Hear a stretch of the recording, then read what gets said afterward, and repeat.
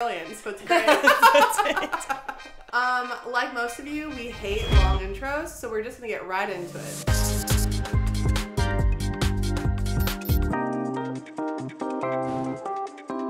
Let's get started. Round one is general knowledge, and Roxanne is answering first. So that's all you, Luke. Oh, uh, it's my turn. Yes. All right, you guys, are you guys ready? Yes. All right, question one, and these are written by Rachel for Roxanne. General knowledge. What movie is currently being reviewed as the highest rated movie ever, beating Shawshank Redemption? Yeah, this should be general knowledge. And I believe It is general I, I believe this is uh, what on is it Rotten Tomatoes or IMDb? IMDb. According to IMDb. Um, I'm gonna say Oppenheimer. Uh, the answer, Roxanne, you're going to be kicking yourself, is Dune 2. Oh, Kelsey and Ryan Oh, just went and saw that. Oh my god, did they like it? I don't know. I really want to go see it. Okay, so now um, Have you guys seen? Luke's have you- going to ask me Have you guys seen all the memes about fing the popcorn bucket? No. Having sex with the pop, the Dune 2 popcorn bucket? Why? Because it's Timothée Chalamet or because it's the- Zendaya? uh, they made like these like popcorn buckets that literally, they, it's like the sandworm, and it has like these little like rubber teeth, and and uh, they look very fuckable. So now everyone's talking about fucking the popcorn bucket. so they they look like p***s. I hate it. they look like giant worms, but like you can stick your in. All right, number one, general knowledge, written by Roxanne for Rachel, and the question is, whose tour started recently titled Guts? What? This is I have no idea. Um, titled Guts. Whose tour started recently titled Guts? It's it's got to be country music, and I'm gonna go with. Oh my god, who sings um, who sings whiskey glasses?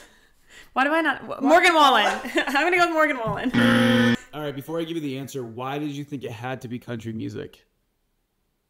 I don't know. Because it was me, probably. Yeah, it just felt like, and also guts. I mean, the only other thing I would say is guts is like, say Taking Back Sunday or something like something super emo. Okay, well, actually, you're on the right path because I think she has a little emo kick going. It's mm-hmm. Olivia Rodrigo. Oh, I would have never guessed it was Olivia Rodrigo. Yeah, me neither. Why is she like guts? That's so Well, and stupid. then it's all over my For You page, so I was like, I feel like this has to be like going on everywhere. I don't know. I'm barely on TikTok, so Uh, all right, round two, music. Are you guys ready? Yes. Written by Rachel we're zero to zero. or Roxanne. You guys are off to a terrible start for your first episode. Um, in January of 2007, which song from a Ben Gibbard led band was prominently featured in a national UPS commercial? A Ben Kipper. This is kind of a, by So- the way, a two part question, so it's kind of not fair, but whatever. Yeah, I don't. Cause I can't. If I give you the name of the band, it really gives it away.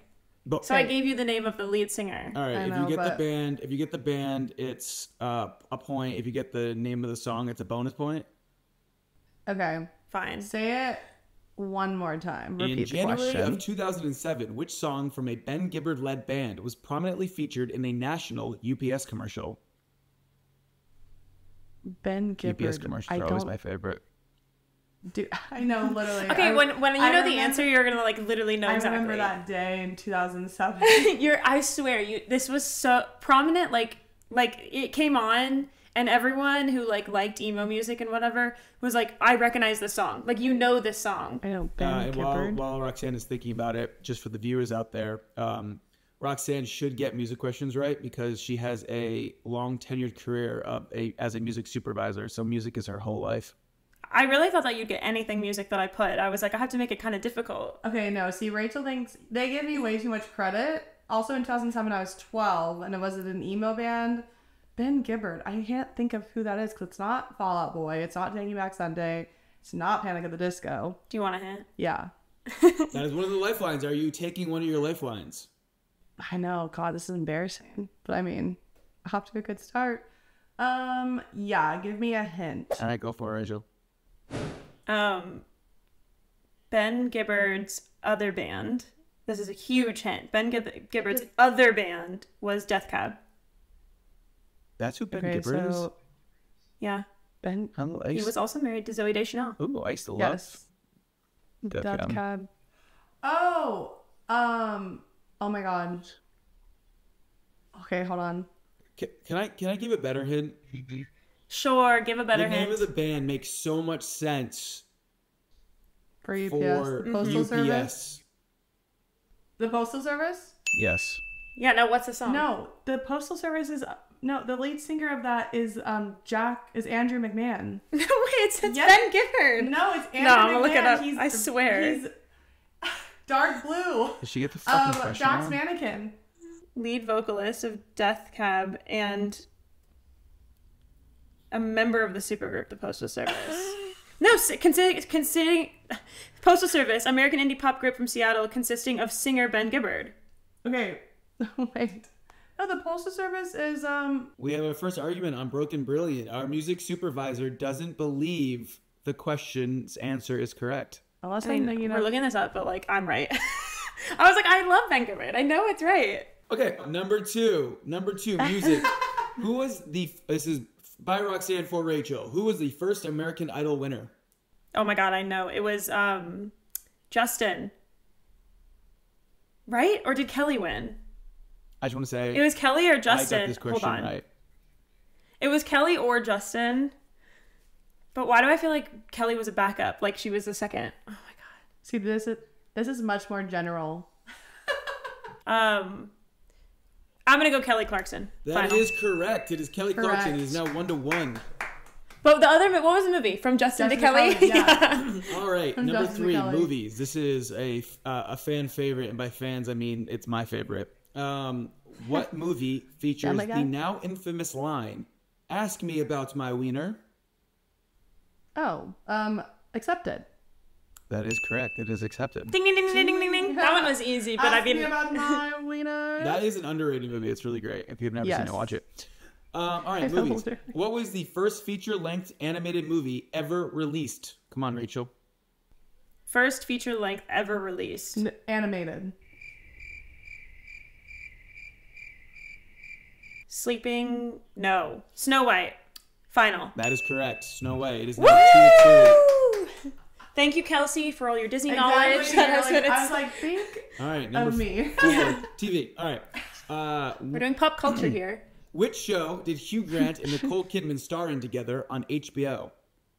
Which show? This is such a Hugh mean Grant. question. Why? This is a popular show. It was, Is but it it a was like the title of it is so forgettable. Yeah, that's Okay, true. wait. Hugh Grant and Nicole Kidman Yeah. were on a TV show together. Yes. On HBO. On HBO. On HBO. Nicole Kidman? I'm literally thinking. Um. Nicole Kidman and Hugh Grant. Um. Um. I don't know. I. I. Yeah, this give was a up. mean question. The answer is The Undoing. The Undoing. Yeah, very forgettable title. It was a good show. I It was like a, watched- it was like a, No, you watched it because it's in our list of shows that we watched. And I went checked- through that list. I list. checked mark. Oh, it was a but murder that, I think me and? Tara. Yeah, me and Yeah. Tara watched it. No, that was Sorry, good. Tara and I. Um, all right, TV for Rachel. You ready? What did Lucille Balls try to sell in a television commercial on I Love Lucy? Also a mean question, Roxanne. Okay, so I, it's kind of evenly mean. yeah, I was like, I don't know this at all. I've never even seen I Love Lucy. This is like I know that it's Lucille Ball. That's like about the only thing I know about I Love Lucy. Um, what did she try to sell? I'm going to guess based on the time period, a vacuum. That was my guess. It was that's not okay. right. That's really funny. It's uh, uh, you want to pronounce that, Roxanne? Vitamita, Vitamita Vegemin. Like all the meat, you know, and the Vegemin. memes. Vit- No. That's like the biggest because she couldn't say it. Yeah, you guys were Vitamita mean on that one. That was a mean round. well, we wanted to make very- sure the questions are I feel like difficult. that's very All right, we remain two to two. Roxanne versus Rachel. Uh, category five is food, snacks, and or drink. Food, snacks, or drink. Um, ready, uh, Rox? yeah. Which brand of drink used to sell a variety of flavored burst drinks with twist off bottle caps? Burst. I want to say like Fanta. I think like the more specific, like No, the part not- no, that Twist. Oh, Yeah. squirt. She already used her hint lifeline, so she has one left. One. Um, twist. I'm gonna say yeah. Um, wait. So you're saying that needs to be more specific than Fanta? No. Oh, You, you are you leading? You can't lead. we're not leading. We're talking. She asked me. Yeah. Um, okay. Okay. Asked me about my Oh, wiener. I'm gonna say Fanta again. Even Fanta it's wrong. is incorrect. Sorry, it is Kool Aid. Do you remember like the twist off tops? Yes. Okay. All right, Rachel, are you ready Yes. for food, snacks, and drink? What condiment was used for its medical qualities in the 1800s? I do not know why, but I feel like this is ketchup. And so I'm gonna go with ketchup. Final answer? Should I not make that my final answer? Should I get a hint? um, who's winning? Am I? oh, Is it tied? Uh, it's tied right now. It's two, two. yeah. It's two to two. Yeah. No, I'll just final answer. Ketchup. Ketchup is correct. And Yes. uh, Roxanne went ahead and left a little factoid here. Uh, in the 1830s, tomato ketchup used to be sold as a medicine claiming to cure ailments like diarrhea, indigestion, and jaundice. wow, cure all. Well, thank you, John Cook Bennett, for a delicious condiment. Well, I also just feel like what a lie. Like it's so acidic. It just like makes my stomach hurt sometimes. No, for I, sure. I'm like, I don't sense. understand how that. If I was Also- drinking it, I think I'd feel bad. Also, jaundice, like, how does that affect your? Li- I don't know. That's I think it would give me diarrhea. Yeah, it probably has, especially with all the well. preservatives. On that in it. note, uh, six dealer's choice. Are you ready, Roxanne? Yes. All right. What was the first American company to reach an evaluation of over one trillion dollars? Company, first company, First American company. first American company. I'm gonna say Microsoft. Is it final answer? Yeah. The correct answer is Apple. You were on the right track. They were. Oh, I, was like literally everything in this room. I was like literally what? in between. Well, the first one though wasn't Microsoft before Apple. But I think they were billionaires first, and then Apple was a trillionaire first. Um, see, I Maybe. wouldn't know. All right, dealer's choice. Are you ready, Rachel? Ralph. Luke lost, not me, Luke Skywalker, lost which of his hands in a fight with Darth Vader? I have both hands. Oh my god. I think this is right. His right hand. Final Is answer. Final answer. That is correct. Yes. I was like, I know Star Wars. I just can't be something like crazy. Sometimes Star Wars questions are like, No, that's Really why- it was crazy. pretty- I was like, I feel like most people, if you watch it, you should know that. I've barely seen them, I got so that wrong because I second guessed myself because I was like, maybe I'm like Yeah. watching it from the flipped angle, so it was actually the left hand. well, I was thinking, isn't it the same hand that Darth Vader loses? And since I love Anakin, So also, I asked Jack. I also asked Jack this, and he goes, "Wrong. That's a trick question. Um, Anakin lost his hand." And I literally Googled, "Does Luke lose his hand?" and sent it to him. He goes, "Oh well, left then." well, yeah, because Anakin loses his hand. Yeah, I knew and that. if you grew up more with that one, which we kind of did, Mm-hmm. because the old ones are old, then you're like, oh, okay, so Darth Vader is also missing a hand. Yeah. I mean, you know, like father, like son. Literally. All right, you guys ready to? Okay, so seven is a is a specialty round for this podcast. Do you want to explain what it is, girls? So our seventh round is going to be deconstructed. Basically, we are describing something to the other player or our hostess, and the least amount of clues you get, the more points you get. So this could be some way of one of us coming from behind. So Luke, go for it. All right, Rachel, you ready? No, wait, just kidding. Roxana, you ready? Yeah. The first piece of the puzzle is a soul. A soul. Like, can you spell that for me? I cannot spell it for you. S O L E or S E O U L. That's why he can't spell it. Okay, is it a, okay? But I need to know: is it a soul of a shoe or is it a soul That in my is- body? you're gonna have to put your faith in God on It's that It's a one. play on words. You got to figure it out. A soul. See, this is some BS. Luke's with me on this because he helped me come up with this.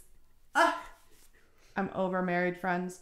Anyways, um, a soul, a soul, the shoe. Final answer. Yeah. it is shoes. Yeah, S O L E. Yeah, I was like, what? Uh, well, you know, you got you got to try. The main material contents of these are metal, glass, and inert gas. Wait. Inert gas? What the hell is an inert gas? Listen, I'm just reading the questions. All I can think is a light. Like I feel like it. Can you hear my stomach? I feel like it's like a fluorescent light. I'm not gonna answer yet though. Okay, next clue. You want your second clue, Rachel? Yes, please. Alessandro Volta, Humphrey Davy, and Joseph Swan played a critical role in the development of this technology. That's a mean clue, Roxanne. I was like, that doesn't help at all. But please repeat it. Alessandro Volta, Humphrey Davy, and Joseph Swan played a critical role in the development of this technology. Of this technology. I don't know why I'm still thinking it's a light bulb. Ugh. Just give me this next one, please. This is for your one point clue. Yeah. There are three main types incandescent, including It's a light bulb. It's a freaking light bulb. It's a light bulb. fluorescent, and light emitting diodes, LEDs. Oh my god, I knew it was a light bulb. I, know should have just so gone with my I told you gut. You're so smart. Is it is that your final answer? Yeah, it's final answer. It's not a light bulb. Is this? Yeah, it's a light bulb. I was about to. I was like literally about to flip like, you off wait, on is- camera. I was like, wait, is this a trick? So now we're We're tied. tied. All right, tie tiebreaker question for both of you. I'm gonna look up a tiebreaker question. Oh, okay. We lo- Get into we- it, host. We love an impromptu. Well, you guys didn't come up with the tiebreaker thing, so we didn't think this was gonna happen. Yeah. wow, came down to the final round. Thank God. I'm not okay. Now, now we're back to being impressed. All right, I'm gonna give you guys a tiebreaker question. The closest The closest. The clo- no, Yes. no Price is Right rules. Yeah, no prices right rules. The closest uh, right answer gets it. It's it's a number question. Okay. How long in meters was the Titanic? And please uh, write down write it down on a piece of paper and then read it out So loud we can't write it on change your it. How long in meters was the Titanic? Okay. Okay. Uh, we'll go Roxanne. 1900. 1900. Oh my God. 1900 meters. No That way. is the largest ship on Earth. There's no way. I was like, that's way a too big. beast. All right. 5,000. Oh yeah, you're right. It's Ra- Rachel. miles. I, I don't think I think you're gonna win this one, Rachel. What is it? I mean, I thought I put a lot. I put 312. That was much closer. The answer is 269 meters. Oh, I was like nice. very close. Yes. Well, you know what's funny? I literally thought about it, and then as I wrote it, I was like, "We're talking about meters, not feet." And She's, she says 1900. I was like, no. no, 190. Dude, that'd be a. Actually, I wonder what is what's the biggest ship in meters. Okay, so the largest ship is only 458.46 meters, and that oh is Oh the my s- it- it- it's an oil tanker known as the Seawise Giant. It is 1,504 feet. Wow. See, okay. When I was originally thinking feet, it's not too far. Yeah, meter. That is that'd be quite the ship. All right, so congratulations to Rachel for winning the first ever episode of. Broke and brilliant. Don't forget to check us out on all of our social media. We've got Twitter, YouTube. We do not have Twitter. we did. we have TikTok, YouTube, and Instagram at Broke and Brilliant Trivia. I was like, oh, we do? Okay. That's B R O K E A N D B R I L L I A N T T R I V I A.